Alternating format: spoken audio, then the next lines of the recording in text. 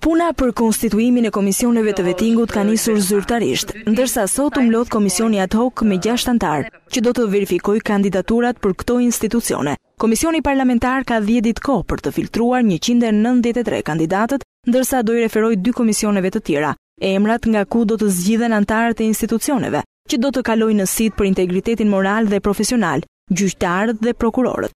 Ky komision do të marrë në shqyrtim gjithë dokumentacionin e njëqind e nëntëdhjetë e tre kandidatëve, dokumentacion i ardhur nga Avokati i Popullit dhe Operacioni Ndërkombëtar i Monitorimit. Është në tagrin tonë, në detyrën tonë që të garantojmë jo vetëm skrupulozitetin në gjykimin tonë, por dhe transparencë për kandidatët. Që për rrjedhojë, të gjithë duhet të dinë në kohë për arsyet pse janë skualifikuar në mënyrë që të kenë mundësinë që të bëjnë atë që kemi ne për detyrë, procesin e apelimit dhe ne në mënyrë përtej çdo dyshimi t'i çojmë atë. Do të ishte nga ana metodike një e këshillueshme të kemi një formalizim të gjitha kritereve që ka Kushtetuta dhe ligji, me qëllim që ne të përdorim si tregus, si indikator për të bërë vlerësimin individual kur secili prej nesh të marrë dosjet e secilit kandidat.